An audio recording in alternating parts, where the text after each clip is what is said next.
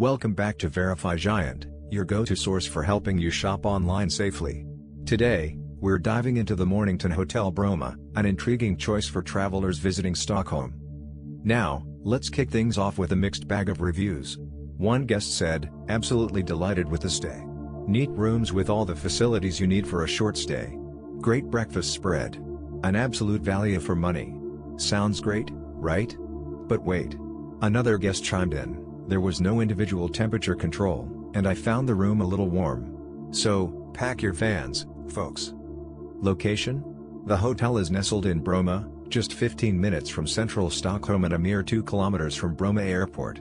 So, if you're arriving late and need a bed, it's convenient, like a midnight snack that doesn't ruin your diet.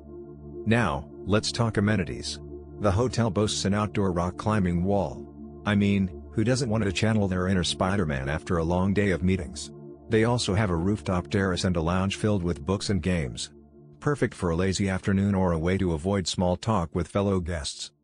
When it comes to food, the breakfast spread is praised, but the hotel does not offer all-inclusive meals. Stockholmers are known for their love of herring and meatballs. If you're adventurous, try the local cuisine at nearby restaurants like Bjorklands Hage, just don't ask for herring on your Cheerios. Now, let's score this place. Staff friendliness, 8 out of 10.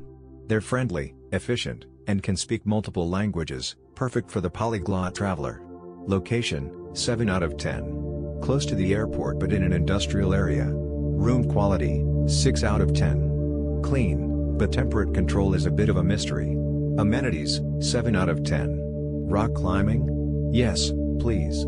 Food and dining, 6 out of 10. Breakfast is good, but dinner is on you. Add it all up and we get a score of 43 out of 100. So, is Mornington Hotel Bromma worth it? I'd say no, unless you enjoy being warm and snuggling with your fan.